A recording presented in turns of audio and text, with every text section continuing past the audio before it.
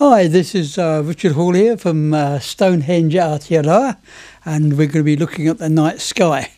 And uh, for those of you watching on TV, uh, you see a lovely lady out there. That's uh, Andromeda, and I'm going to be talking about her a little bit later on.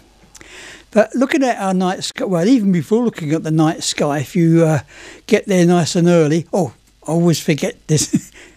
Thanks to Dan Broughton for uh, sponsoring this program. You always got to remember Dan. Now, uh, in looking in the daytime, I guess most of you have probably seen that brilliant star in the uh, western evening sky just after sundown. Right, so it's the brightest thing you can see in the sky after the sun disappeared. Right, um, but that's no star. There's actually a second one that's also so bright that you can see it in the blue sky before the other stars appear. And neither of these, incidentally, are stars. They're both planets. The brightest one, of course, is the, what is normally known as the evening star, is the planet Venus. And we talked about Venus recently. It's it's closer to the sun than the Earth, and consequently, uh, even in uh, a small telescope, you sh- it shows phases just the same way as the um, the Moon does. And also, right now, it's about a h- half, like first quarter, as it were, of Venus. So that's the brilliant planet Venus. And the other bright object in our sky at that time is the planet Jupiter which is, of course, the biggest uh, planet in the solar system. Venus, incidentally, comes closer to us than uh, any other world uh, apart from the moon. Jupiter, of course, is absolutely enormous. You could fit something like 1,300 Earths inside of that. And in many ways, it's more like the sun than it is the uh, a planet. It's uh, what, what people often call a gas giant, but it's actually mostly composed of liquid, liquid hydrogen, and so on. And even in a small pair of binoculars, once it begins to get dark, you'll be able to see at least four of the um, bright moons. Jupiter has got something in the region of 70 odd moons, right? four of which are, are, are, are, like little planets and uh, they can be seen with a, a, pair of binoculars. But that's what you can see while the sky is still blue, all right? Now, However, if we could imagine we could just turn the the, uh, the sun off, as it were, and have a look at the background stars that we were looking up up there, we see Venus and Jupiter up there, and um, there's another planet there as well. In between Venus and Jupiter is another star. It doesn't stand out like Venus and Jupiter because it is a bright star, but it's no brighter than many of the other big bright stars around while both Venus and Jupiter outshine all other stars. Well, the other object, of course, is the planet Saturn, uh, which is, of course, one of the most magnificent objects to observe uh, through a telescope. And like Jupiter, it's a world entirely different from that of the Earth. It also is what we call a gas giant and it's got vast numbers of moons and so on orbiting around it. So, and incidentally, uh, although we always talk about the rings of Saturn, which appear to be probably the disintegrated remains of uh, one or more moons that got too close to uh, Saturn. Jupiter's also got uh, uh rings, uh, but they're not. You can't see. We didn't know about them until we sent a spacecraft out there because they're nowhere near as bright as those that we can see in Saturn. But anyway, that's what you get in the early evening. You'll see, you'll see Venus and, and then Jupiter, and look in between or close to Jupiter, you'll see the planet Saturn. But of course, by the time it gets um, dark, oh, the other thing I wanted to point out is which constellations are in, because initially you can't see them. Venus is in the constellation of Scorpius, and actually it's quite close to the big bright star Antares, which is one of the brightest stars in the sky, but it's not going to become really noticeable until it gets dark. And the other two planets, Jupiter and uh, Saturn, are in the constellation of Capricornus, right? So that's those two there. But of course, in actual fact, by the time it gets dark, uh, Venus is going to be getting close to the horizon. And for those of you watching it on uh, uh, TV, you've got an image of looking due south, and you can see Venus and uh, uh, Antares are that just about to set there. And if you look absolutely due south, you can see the Southern Cross, which at this time of the year is upside down near the horizon All right, so for those of you watching this on TV, there is the Southern Cross there, and following behind that is the um, two pointer stars, Alpha and Beta Centauri.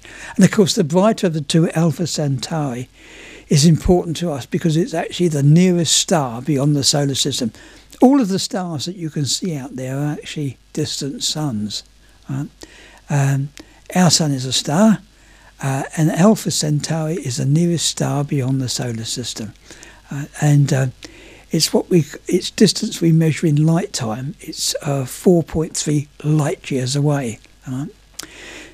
In other words, if you could travel at the speed of light, it would take you just over four years to get to um, to get to um, uh, Alpha Centauri. You've got to remember that if you if you if you could travel that fast here on Earth, you could travel around the Earth in in a fraction of a second. All right.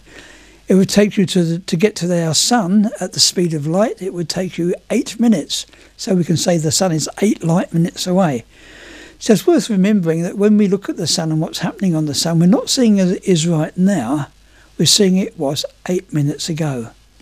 In turn, when we look at the pointer stars, Alpha Centauri, we're seeing Alpha Centauri as it was more than four years ago.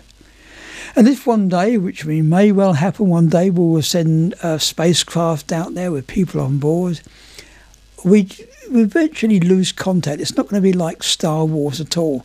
Because if you're out there around Alpha Centauri, and you say, how I have how is everybody here on Earth? And it's because it's four years before that message gets here.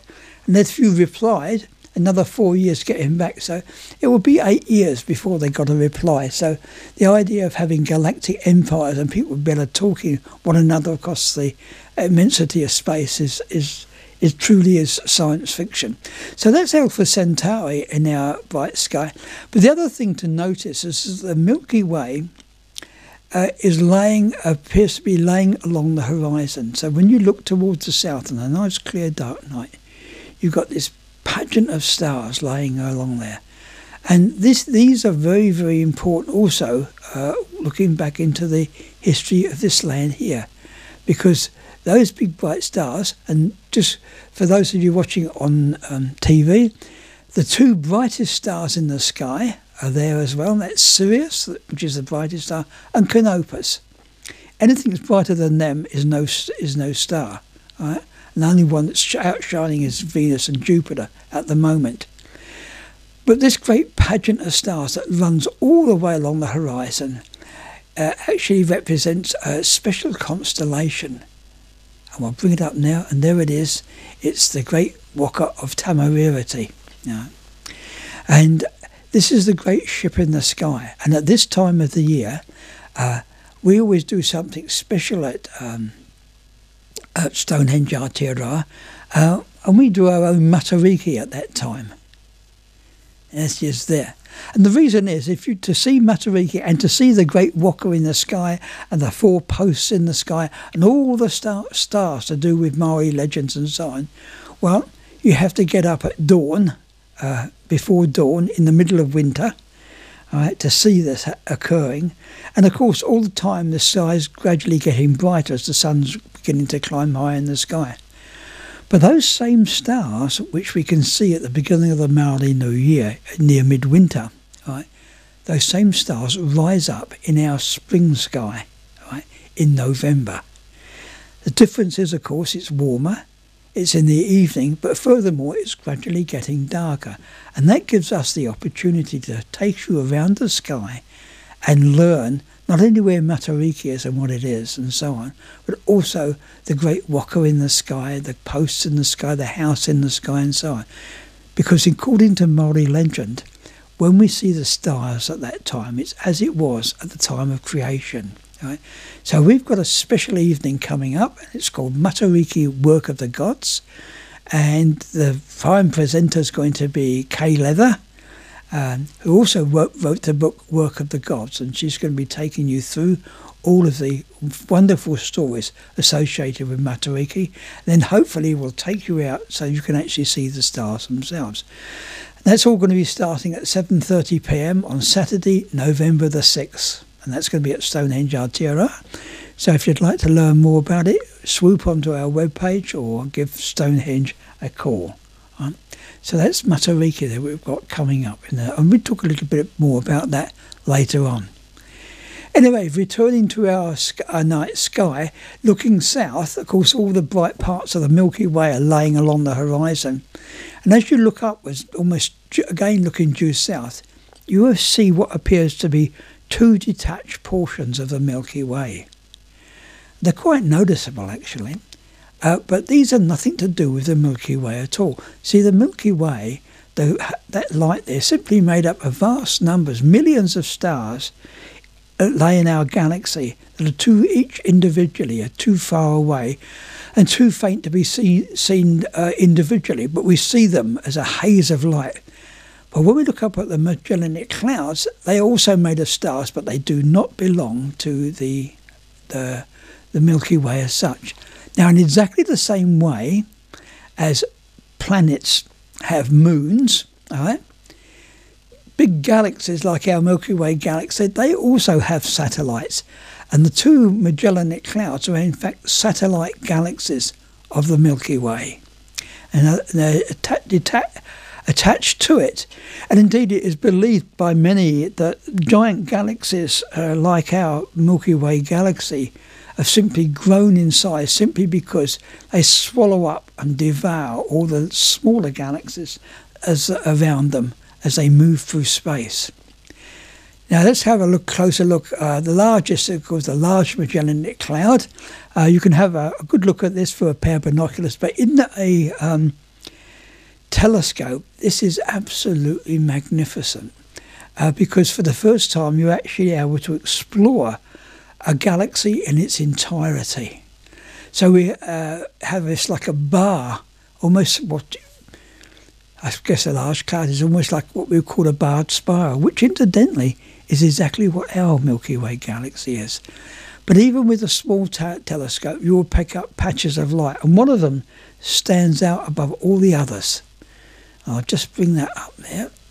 And it, by putting in the contrast, you can begin to see, for those of you watching on TV, the different main structures in the large cloud.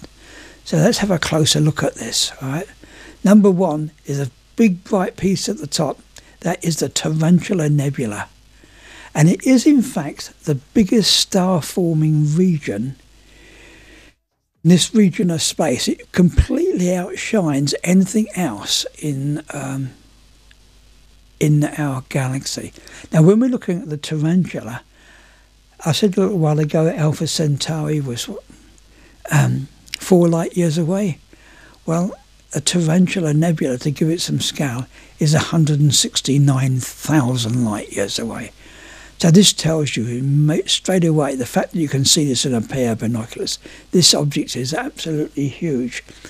And at the centre of the nebula, illuminating the nebula is simply gas and dust, which is being illuminated. There is a, a central star cluster. But this is no ordinary star cluster. Many of these stars inside here are the biggest and brightest stars in the known universe, many of them more than a million times brighter than the sun.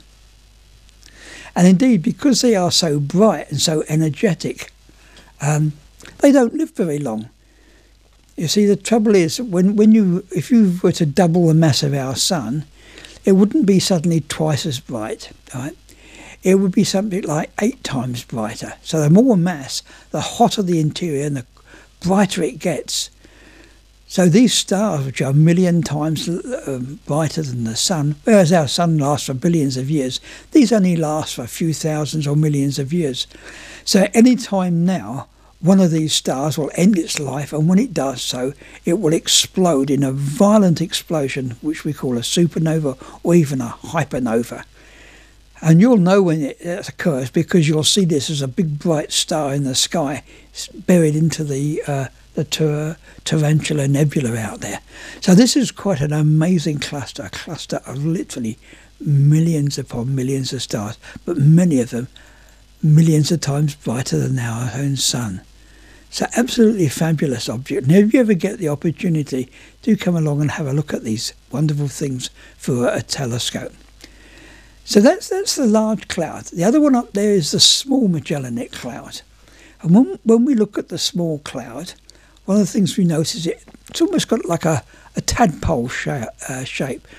And a little earlier I was mentioning the fact that we believe that uh, big galaxies like our own grow in huge size since because they swallow up any other galaxies. Well, we now know that not just the two Magellanic clouds, our galaxy has got something like a dozen satellite galaxies, which is gradually absorbing. And you can see how, with the small Magellanic Cloud, it's got this tadpole appearance, that it's actually been drawn towards the, the Milky Way galaxy.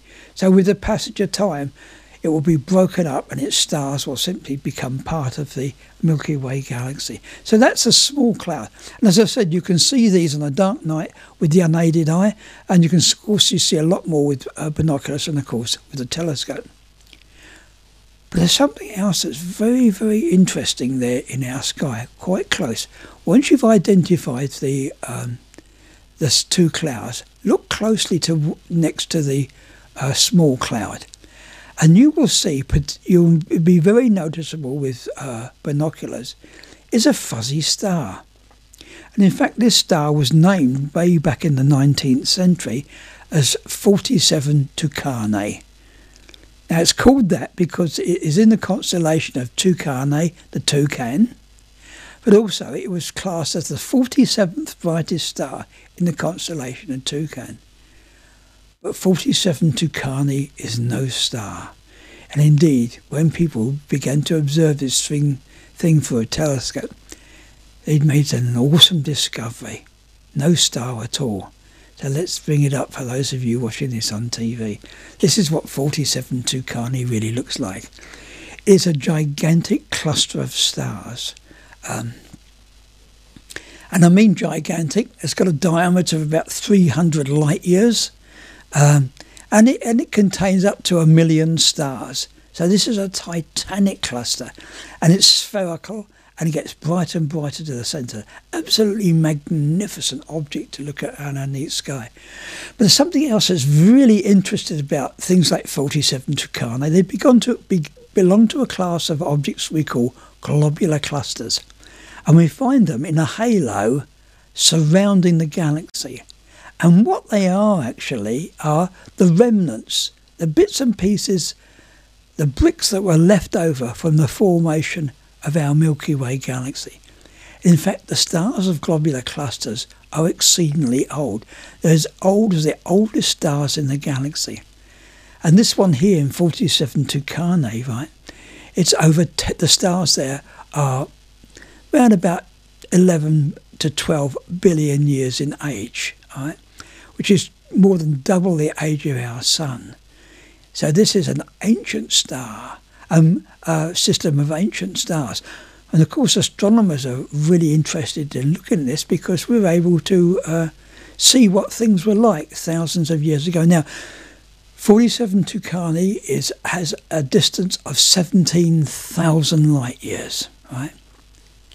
So when we see it, we're seeing it as it was 17,000 years ago. You see, we never see the universe as it is the further we look into space, the further backwards in time we look. So we see the universe as it was. Right? Now we need to think about that. Near the centre there, imagine being on a planet near the centre of that cluster. You see here in the, our vicinity of space, stars are separated by about four or five light years. But at the centre of that cluster, the stars are packed together and they're just a few light minutes or light weeks away. So if you were standing on a planet in the, near the middle of that uh, cluster, you would have literally hundreds upon hundreds of stars which were brighter than the full moon. There will be thousands and thousands of stars brighter than any other star. The star, that entire heavens would just be a mass of brilliant stars. So a sort of view that we just can't imagine what it would be like here on Earth. Right? But remember again, when we're looking at it, we're seeing it as it was. When that light, when we look at um, 47 Tucanae, the light coming from those stars, which forms the image we can see, started on its journey when we were in the midst of the last ice age. If you want to turn this around, this means if you there was somebody out at 47 Tucanae with a telescope, and they were looking down here towards our solar system. And they had a telescope big enough they could see the Earth. They wouldn't see us. Uh, they would be seeing woolly mammoths and so on, because they would see the Earth and the solar system as it was 17,000 years ago. Right? So that's 47 Tucanae up there in the sky.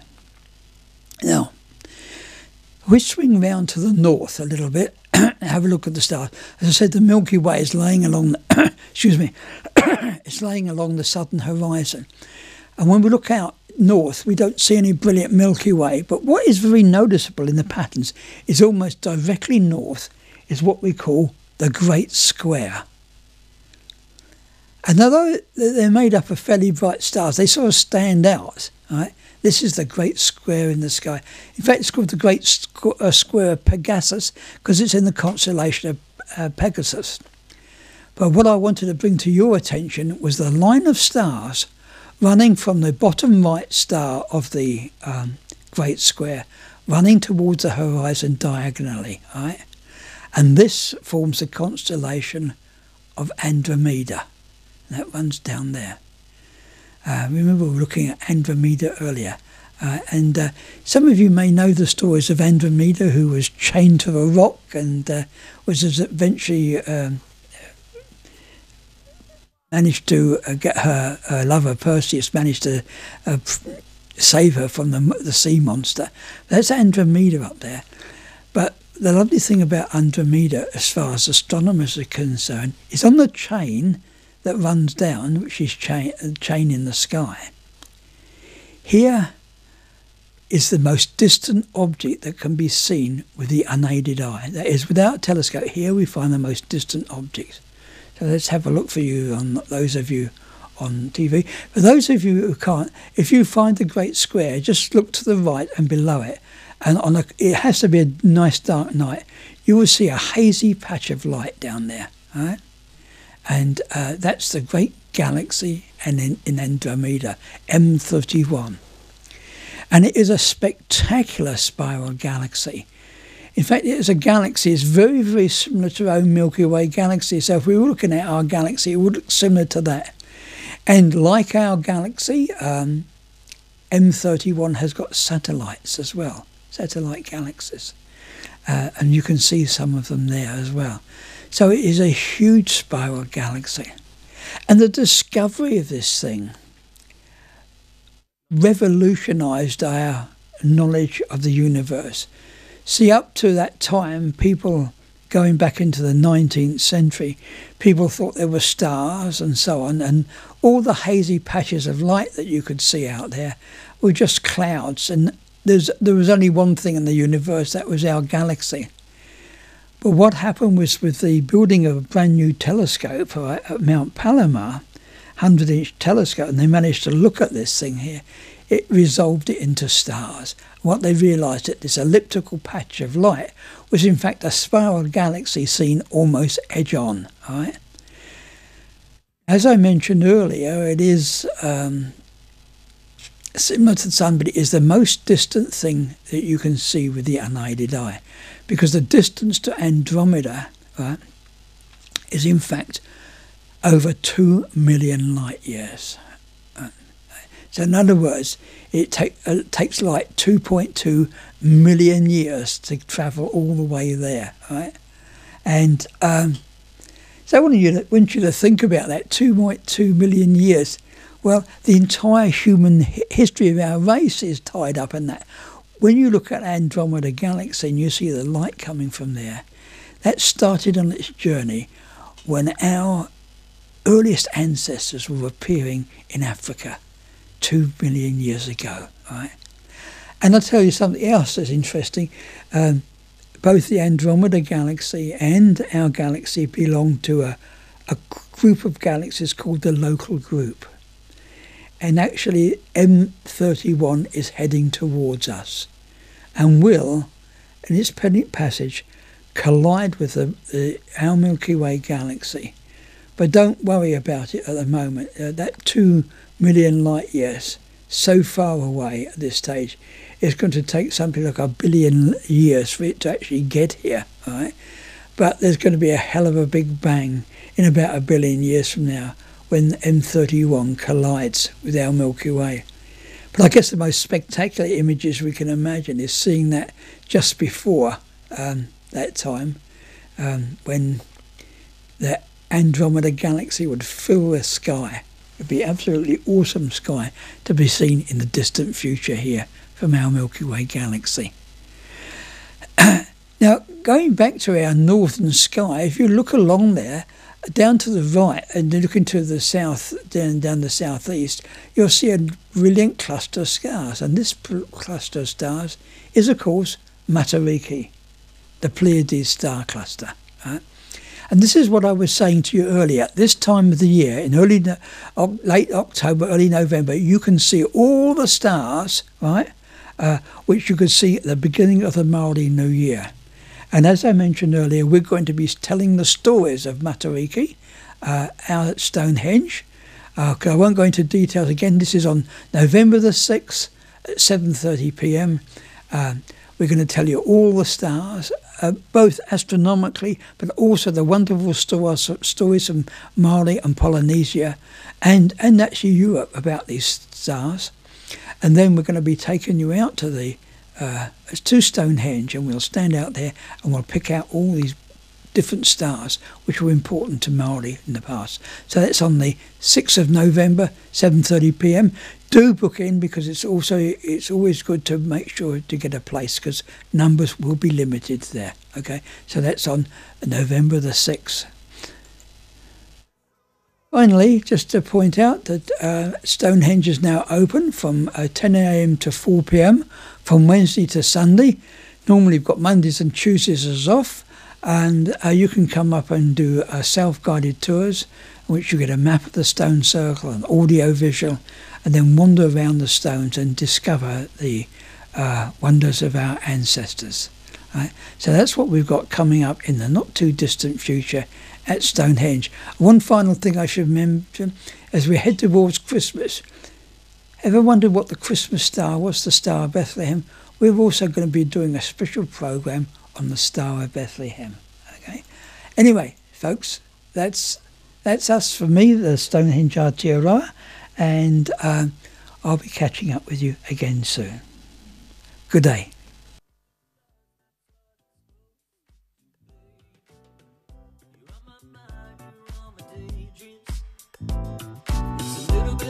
Everything.